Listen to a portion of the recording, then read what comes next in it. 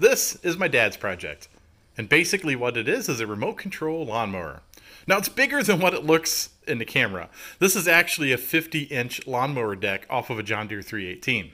The deck itself floats just like it would on a tractor. It's basically got some chains in the back, but it rides on four wheels and it's allowed to uh, go up and down with the train. So that works out great originally we wanted to steer like a bobcat. We thought maybe if we chained all the wheels together made it four-wheel drive because my dad has some pretty steep hills where he lives that we would be able to spin one set of wheels on one side forward the other set backwards and get it to spin.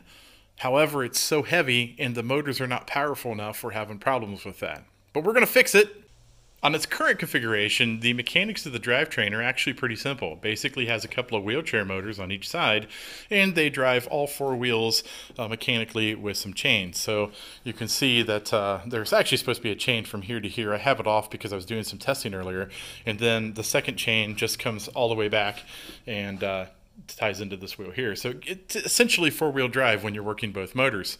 Um, it's got a 24 volt alternator because the motors are 24 volts, and that keeps both batteries on each side charged.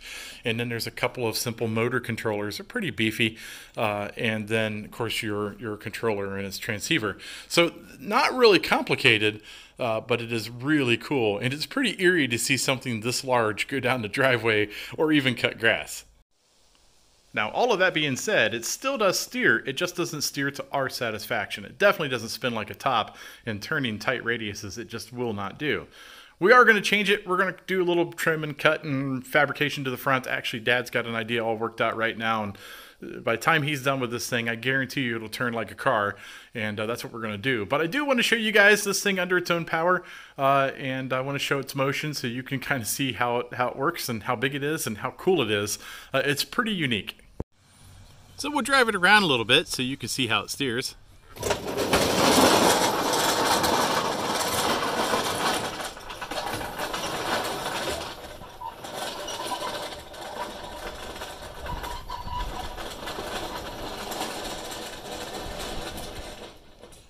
And as you can see, it just doesn't have a lot of steering, but we will fix that.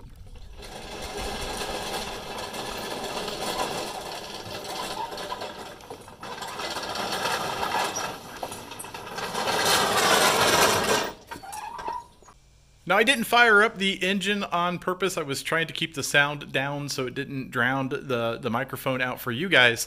Uh, it does actually run really good. There's still some belts that need put on the deck to spin the outside blades, and obviously there's some changes that need to be made with the steering in the front. So my plans are when we get all the bugs worked out uh, and we can get this thing to actually mow a lawn, we'll come back, do another video, and Dad has taken a ton of videos as he's been building this. So we'll share some of those videos so you can get a good understanding of how this was built built and uh, maybe even some design changes throughout the actual build itself. Because I know Dad has taken a ton of pictures and uh, he's pretty creative. So, kind of excited to see this go. Please like and subscribe. Uh, don't forget to take a look at some of the other videos I have. You might, at the very least, be entertained.